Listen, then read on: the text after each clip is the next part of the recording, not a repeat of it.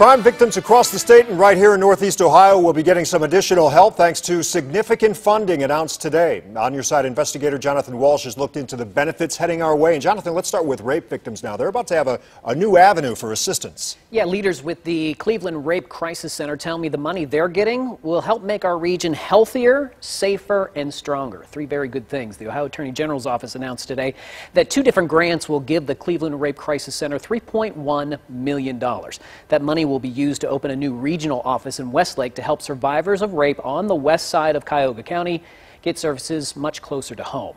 Meanwhile, Welcome House Inc. in Westlake is set to receive close to $400,000 to help crime victims with developmental disabilities. And this was pretty cool. I was actually able to deliver that good news to Welcome House. Hearing about it today from you was, was just an absolute, uh, it, it, it, certainly made our day. And uh, what's more important, it's going to help uh, young adults with developmental disabilities achieve some level of independence and success in the community. We're excited about it. Check out the breakdown here. The funding from the Ohio Attorney General's Expanding Services and Empowering Victims Initiative total is now nearly $80 million for agencies across Ohio. Of that, 25 million will help domestic violence victims, 20 million for sexual assault victims, $14 million are going toward helping abused children. I'm on your side investigator, Jonathan Walsh.